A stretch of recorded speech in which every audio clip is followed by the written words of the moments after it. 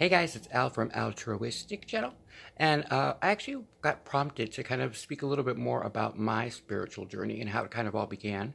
Um, I'm heading into uh, the second part of my um, action plan, if you will, and I'm going to be talking a lot more about like the, the, actual journey and some of the things that happen to me and that might happen to you to indicate that you're on the right path for your spiritual journey and how it's going to incorporate a little bit more into your day-to-day lives, right? So we'll be going into that. So without further ado, uh, my journey actually began a little bit like a lot of people's, you know, kind of going down the wrong path, but still being a path that I, of my making, right? Like it was something that I was already embarking on, just trying to live my full life. And so many of you know, I was born in New Orleans back in the 70s. And uh, yes, I'm that old. Uh, and I had a really good life. You know, there were a lot of challenges that happened. And that's the one thing about most people who become able to speak uh, on about their spirituality is that they overcome quite a bit early on in their life. Um, some people are like indigo children or, or um, rainbow children, which we'll get much more into a little bit later as we kind of establish the foundational information. But just know that there are people that are actually born in worse states than, than you are, and that their journey has been a lot more complicated. Uh, the thing to remember about everyone's life path is that it'll feel sometimes like it's out of your control. But when you get to a certain maturation level, you're going to realize that it's never out of your control, that it was part of a soul's contract, something that you wanted to challenge yourself with as a soul that you brought into this life. Now, how it manifests is usually something that we're not always necessarily in control of. So never look at it like, because there's some of us who have been victimized uh, with, you know, crimes and stuff. We're not speaking to that. God would never propel somebody to get hurt. It manifests in different ways, but the point is that it happens. And so, what do you do with that um, afterwards? And so, in that regard, just understand that you know my spiritual journey was was dark. There was a lot.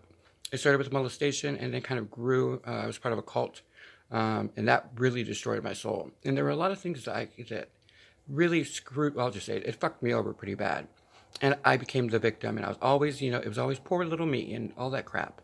Um, and then, you know, I had some natural gifts that were kind of interesting. I, you know, I hate to say it, but, uh, you know, I was all right. I was good looking, reasonably good looking, and so I could get away with a little bit more than other people. And so it fed into this fire of feeling like I could get whatever I wanted without actually putting work into it. And I was very spoiled. And then the ultimate nail in the coffin was when my mother died.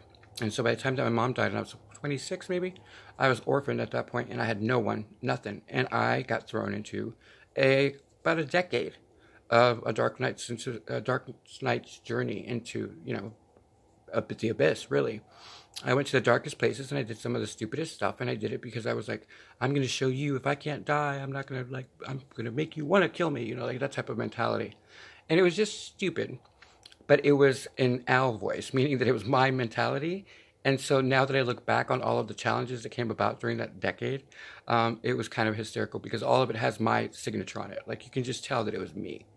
So understand that when you're on your journey, and especially when you're in a situation where you are really now in a state of panic, where you just think that the world is out to get you and stuff, it, it, it sends you not always into a paranoia state like some people get, but into an actual creation state where you start to then manifest thing after thing after thing after thing, and you think that you're just that God's just trying to kill you and He's just trying to kill you, but every time you actually try to do something to kill yourself, then nothing happens, and so you get stuck in this perpetual state of um, of purgatory. And that's what a lot of writers spoke about is that at some point, especially in a live or die situation, or where something is so traumatic in your life, you may enact the darkest or deepest part of yourself. And instead of working your shadow side um, in cognizant effort, meaning that you're aware of what you're doing, you start to manifest it into your physical life, into something that you experience on the day to day. And then all hell breaks loose. And so understanding usually ahead of time is what I'm trying to do here with the with the channel is um sorry I'm adjusting. I woke up with a lot of energy today. It's really weird. Because um, I was being prompted um anyway let's just say that I was being prompted to get onto this uh, early on. So if the camera's shaking a little bit it's just my energy levels off the charts right now. Um, but it's part of the ascension process. You get used to it. It's just I'm trying to get used to the vibration. Uh, but when it comes to that aspect, you know, with the channel, I'm just trying to get people to understand that you can proactively look at things and then it diffuses the energy levels as they come at you, or you can let it run its course and let all hell break loose. Because either way, it brought down every single tower that I ever had. And the towers were on shaky ground to begin with because of the the backstory. And the reason I'm avoiding some topics on YouTube is because of the fact that it's YouTube, and so I don't know which who's looking at it. There could be children or young people that don't need to know about the details of the molestation or about um, the, the, cult life and all that, because there's two books on Amazon. One's a dual purpose to speak specifically about the molestation and about the um, cult living, and then the the more um, the more uh, informed version, which is what I would call the Moon King with No Kingdom, which are both available on Amazon. So I would read those if you want. But for this purpose of here, we're going to keep it kind of bland, right? So in the end, what ended up happening is that as the towers came crashing down around me, I became suddenly very aware that it started to have a sting of familiarity, that it was specifically in my tone, my voice. And it began with a painting that I received from a friend of mine that sent me down the rabbit hole. Now, the interesting part is that the people in New Orleans around me at the time were reflective. They were mirroring me. And I didn't quite understand what the concept is. So just just so you know, so when you are in on the right path or you're getting towards the right direction in life, and and usually, with, especially with relationships that are personal to you, they start to mirror you, meaning that you and them have similar lives, and you start to reflect back on each other. So that which you hate the most, they reflect towards you, and then for, vice versa. So you can trigger someone because you're actually reflecting the negative aspect of who they are and what you're doing. And so you mirror each other and it switches back and forth. It becomes very interesting. And so we call them karmics and stuff, but uh, as a basic, we'll just go with that. Sometimes people mirror that which you most love about yourself and then what you most hate about yourself. And so be aware that your reality starts to shift and starts to morph into that because that's what you're trying to work through. Your soul is trying to understand something in the physical form and it's creating it for you, the body, because remember they work in tandem. They want you need to be able to walk forth understanding it, right? And so as you go through your journey, you're going to do that. So what happened is that they started to mirror my environment. And my environment started to become, I thought, very dark. and so it just propelled me into this negative space. And finally, I decided to take it into my own hands, and I did something that's actually absolutely forbidden, and I wasn't allowed out. It was like, you can whatever, and it was a sign of weakness. But in, in, the end, you can accomplish what I was trying to do, but I wasn't trying to accomplish it. And I, I think what I was trying to do is one part of me was trying to freak the other part of me out, meaning the body was trying to fuck the soul over, and the soul was trying to fuck the body over, and they were just basically in competition. It was the last stand in my journey, and so when I was on the ground, I couldn't go anywhere, and I was like, "Oh my god, I'm fucking stuck here." and they won't let me go and blah blah. And I was, and then my brain just went, "You get it," and that was it.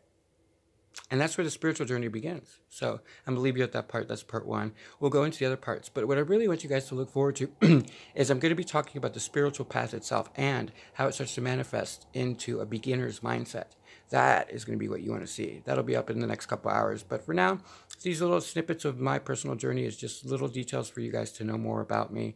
Um, and I will continue to tell you more about the path that I have on and how I got to where I'm at and where I, why I'm so confident and comfortable walking in divine guidance and why there's no fear or why I, you know people's opinions should never matter to you unless they're unless you realize that they're reflections of what you actually think of yourself. But until you trigger that moment, and maybe this is it for you, when you understand that a lot of people that you're going to come in contact are some manifestation of who you are or how you present yourself, that they are reflecting back on you, then you have something to worry about because then someone is, your soul is going, knock, knock, knock. Hey, dickhead, let's go. I got shit to do. And sometimes when you don't respond, it will make it happen. And so remember always that in the end, you manifest your destiny. It's just a it's kind of like just tweaking it to understand where your voice begins and where something else is negatively affecting it. And if it's negative you have to work that path. And that's what we call doing the work. Anyway so that's about it for the beginning. I'll see you guys and next time. Bye